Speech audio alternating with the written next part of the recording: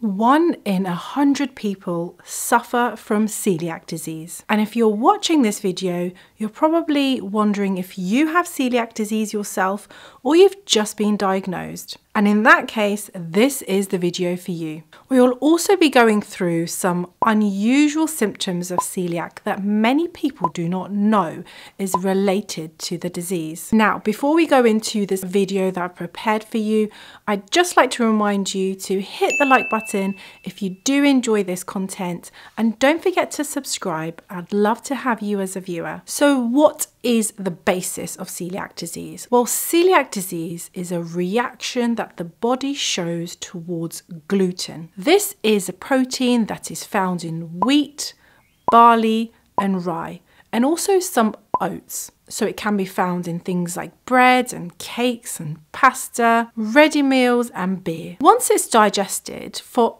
unknown reasons, the body starts to produce antibodies, and these antibodies cause a cascade of events that lead to inflammation within your small bowel. Now, within our small bowel, we have finger like projections called villi. These sort of move around like this within the small bowel, and what it does, it increases the surface area of the bowel allowing it to absorb a lot more nutrients than it would be able to if it was flat. In celiac disease, what happens is that these finger like projections are flattened. Patients' ability to absorb these nutrients is reduced, and these can lead to deficiencies and malnutrition. So, what happens if a patient with celiac disease eats something that contains gluten?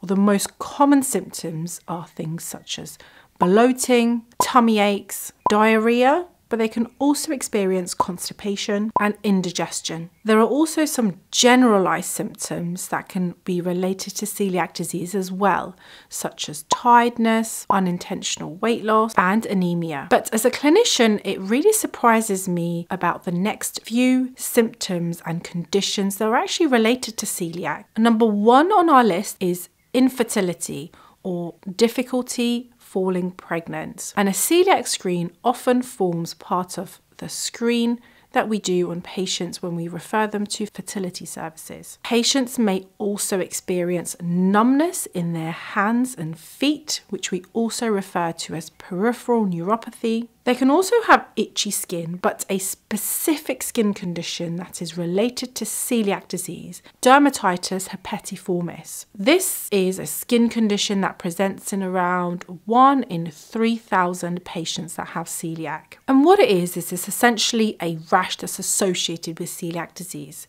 And it's sort of red and bumpy, can burn and sting, and it's often found in places like the elbows, the shoulders, the buttocks, and the knees. And following a gluten free diet usually treats the skin condition. However, when it's not improving with this gluten free diet, then they can try a medication called Dapsone. Celiac can sometimes be the cause of delayed puberty. This is where a child does not go through the expected pubertal changes around a certain age. Celiac disease can also affect your spleen. Now, the spleen is an organ that not many patients are familiar with. They know that it's there, they see it in movies being removed sometimes. Not a lot of people understand what it actually does. The spleen is an organ, which is sort of like a large lymph node that stores blood cells, so red blood cells and white blood cells.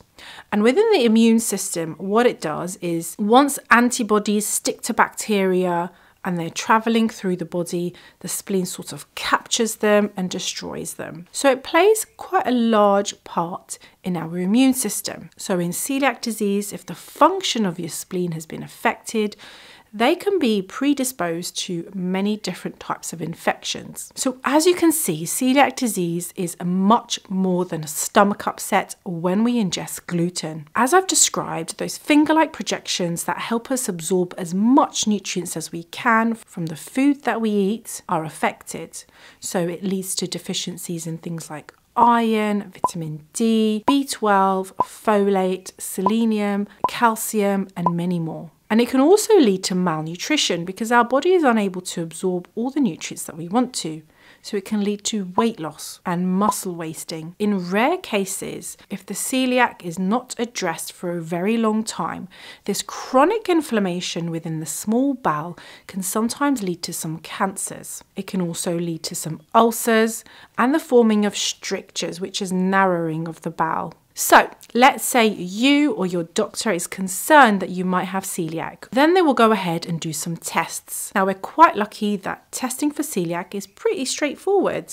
We will send you away for some blood tests to check for these antibodies associated with celiac disease. If these antibodies come back as positive, then we refer you to a specialist doctor who deals with the gut called a gastroenterologist. In some cases, if the blood tests are negative, but there is still a high suspicion that the patient is suffering from celiac disease, they will also be referred to a gastroenterologist. Now, what does a gastroenterologist do? Well, they do a endoscopy, which is where they put a camera down your throat into your stomach to get some samples from your small bowel to send away to the lab to confirm that you have celiac disease. One thing to note though, for the blood tests and the endoscopy to show that you have celiac disease, you actually need to be having a gluten diet for at least six weeks before your test and at least one of your meals a day. The reason being is that if you're on a gluten free diet, then the bowel starts to heal